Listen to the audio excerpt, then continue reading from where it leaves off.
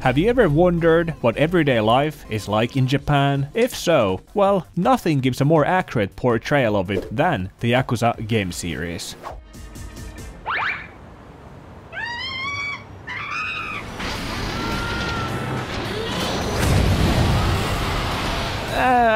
Okay, well, maybe there's some artistic license when it comes to the boss battles, but a huge selling point for the series has been that the games take place in the real world, in real cities across Japan. Yakuza Like a Dragon, one of the newest entries in the series, takes place in Yokohama, a city with rich cultural heritage influenced by its history as one of Japan's first ports to open to foreign trade in the 19th century. A perfect setting for a game about the criminal underworld of Japan. What makes this even more interesting is that I live in Yokohama.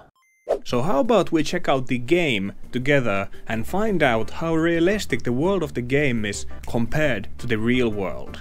And uh, who knows, maybe we can even navigate in the game world just by knowing where things are in real life.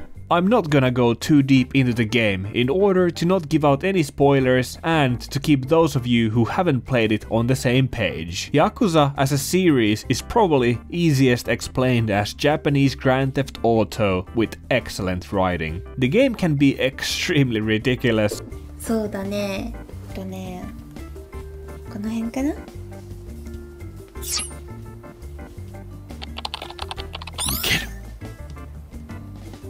and super serious at the same time, without ever feeling like it's too much one or the other. It's a tonal balancing act, which the games do perfectly.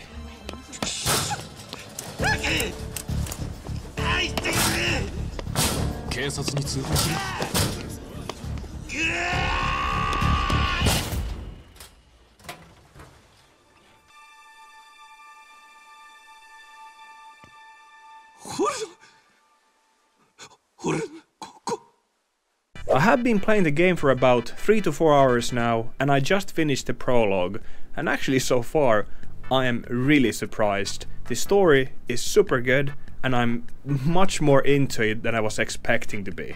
In the prologue, I got betrayed by my own people, I had to go to jail, and now I have lost everything, and I just arrived in Yokohama. My mission right now in the game, in order to survive, is to look for coins under these vending machines. But before I do that, I just wanna see, could I possibly know where I am? So the first thing we gotta do is to look for landmarks and other clues to find out where we are.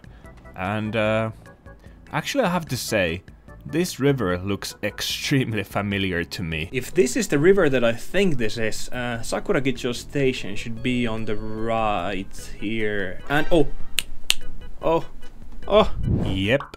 I was right, and I immediately spotted the Cosmo clock over the buildings. It's a huge Ferris wheel that's also the world's largest clock right next to the Sakuragicho station.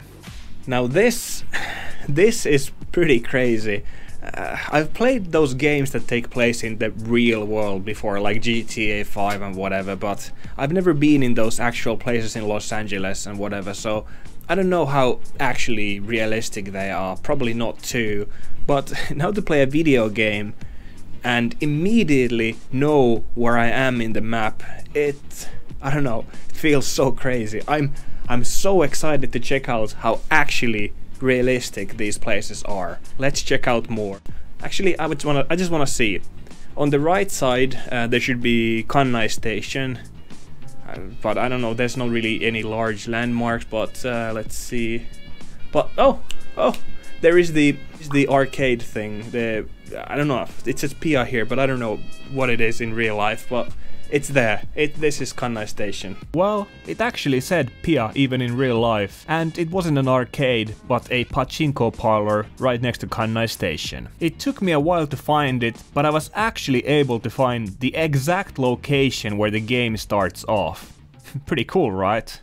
I just got a mission to help out the snack bar in the snack alley in Yokohama, and I have to say, this looks really, really good. This is pretty much how it is in real life. After playing this game, walking these streets feels kinda surreal. I mean, you can see yourself how extremely well this is done. I could have never imagined I would be able to beat up people by summoning pigeons with bread outside my house in a video game. So these are all here snack bars and if you're wondering what a snack bar is, it's basically halfway between a regular small bar and a hostess bar. I guess that would be the easiest explanation. Usually it's a bar whose owner is uh, like an old mama who kinda keeps you entertained. Majority of the game takes place in Isezaki-cho shopping street, which is quite accurate to real life. Isezaki-cho is an older, I'd say more underground area, meaning that you'll find more shady Korean and Chinese stores in here rather than Apple stores. Many of the missions that take place in the game happen in real life stores and locations. Only the names of the places are different, but other than that, if you play the game a lot and then travel here, you know your way around the streets quite well. Just don't expect there to be as many fights with Japanese businessmen as there are in the game.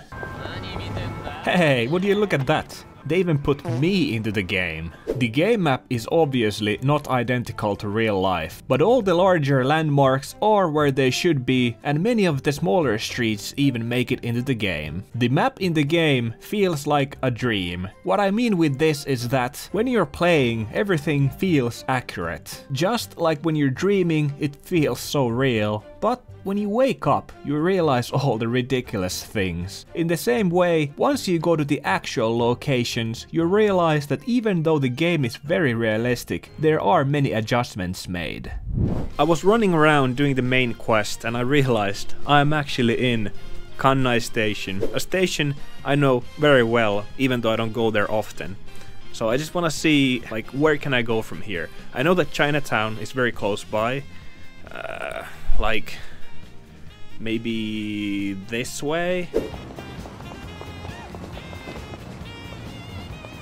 And there it is. Uh, it's pretty easy to find since Chinatown in Yokohama has those big gates in the entrances. So let's go see inside.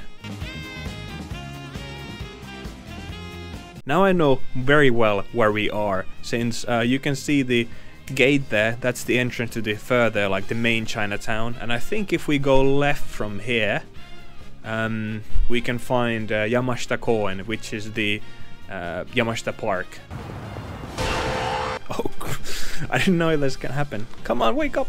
Yamashita Park is probably the most accurately done place in the game, and it's a marvel to look at. Everything is where they should be, and the developers clearly put some love into this area. And no wonder, it's one of my favorite places in Yokohama too.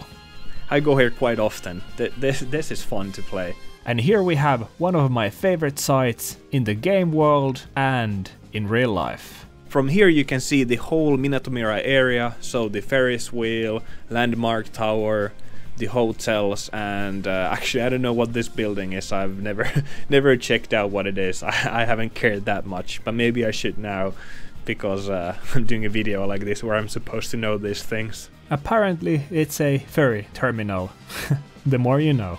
I've had a blast playing these games, and my advice to you is that if you're ever thinking of coming to Yokohama or the Kabukicho area in Tokyo, check out the Yakuza series. You'll know your way around much better.